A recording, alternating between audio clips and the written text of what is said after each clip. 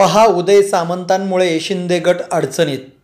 आमदार अपात्रते प्रकरणी विधानसभा अध्यक्ष राहुल नार्वेकर यांच्यासमोर शिंदे गट आणि ठाकरे गटाने युक्तिवाद केला.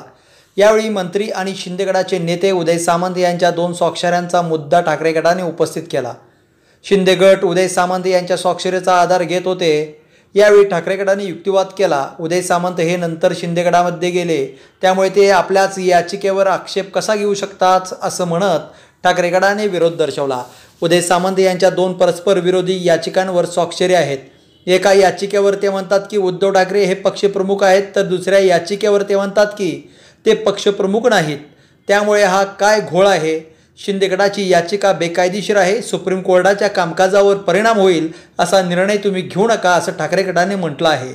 सुप्रीम कोर्टाने विधानसभा अध्यक्षांना प्राथमिक चौकशी करण्याचे निर्देश दिले आहेत. त्यामुळे यामध्ये पुरावे सादर करण्याची गरज नाही. अध्यक्षांनी कोर्टाने आखून दिलेल्या लक्ष्मण रेषेमध्ये राहून काम करायला हवं असा युक्तिवाद ठाकरे गटाने केला होता. दुसरीकडे शिंदे गटाने पुरावे सादर करण्यासाठी चौदा दिवसांचा वेळ मागितला आहे. या प्रकरणात पुरावे सादर करण्याची आवश्यकता आहे.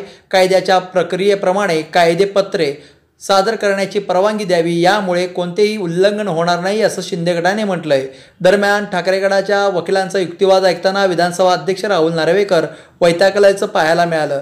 कोर्टाच्या नियम पुस्तिकेत दिलेलं त्याचनुसार तुम्ही सुनावणी घ्या असं ठाकरे गटाकडून म्हणण्यात आलं. यावर मी सुप्रीम कोर्टाचा ऐकू की स्वतः निर्णय घेऊ असं म्हणत त्यांनी त्रागा व्यक्त केला. पुढील सुनावणी दोन नोव्हेंबरला पार पडणार आहे.